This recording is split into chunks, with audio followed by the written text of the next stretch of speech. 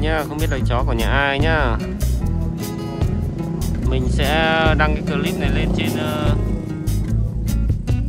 youtube youtube. Chó của nhà ai thì đến nhà mình lấy về nhá.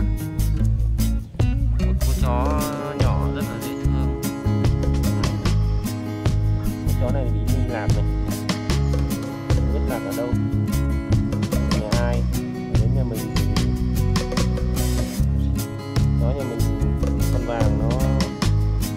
Lại trong cái góc mấy cái ống ống. Con nàng sợ là lúc mà đấy rồi là cho con nàng ăn. Con nàng đang đói.